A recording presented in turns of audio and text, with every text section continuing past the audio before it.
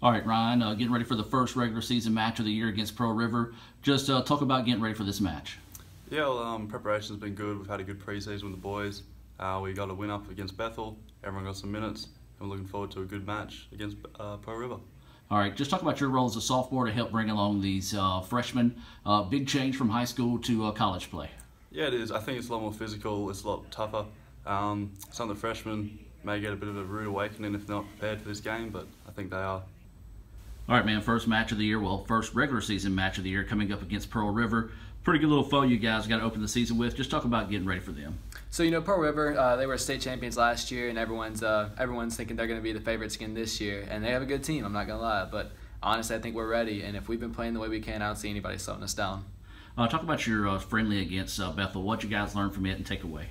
So you know, ultimately, as a new team coming in, it's always the first game is always going to be difficult. It's always going to be odd trying to play with a whole group, whole new group of guys. But the chemistry we had was really good after those first five minutes. You know, once we got it figured out, you know, Clayton uh, Clayton O'Daniel, his first first collegiate goal coming in, that was awesome. And then just overall as a team, we looked incredible. Just getting that feel of it and rolling into Pearl River today, we're all really excited and we're ready to play.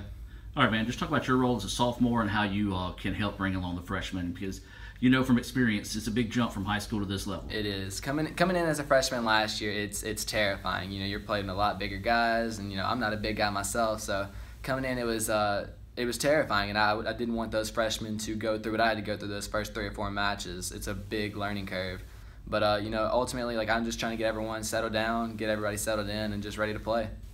All right, Sully, your first official match of the year, getting ready for Pearl River. Just uh, talk about what you know about Pearl River and what you can expect. Oh yeah, they're going to be a really good team. You know, we're going to travel to them. Their venue is a really nice place to play at, and it's a, it's a tough place. Uh, they'll usually have a good crowd, and it'll be kind of loud and boisterous. Uh, they're going to be fast. They're going to be organized. They've got some great players, some guys coming back from last year we know about, and some newcomers. So I mean, we're looking forward to the challenge. It's definitely going to be somebody we think that uh, might be there at the end, and hopefully we can try and join them. But you know, this will give us a good opportunity to find out where we're at right now as a team. And division play still two weeks away, so it's a great uh, test as we get ready for that. Of course, this time of year, you're more worried about yourself being the first game of the year. So, uh, just talk about some of your focuses this week uh, on preparing for Pearl River.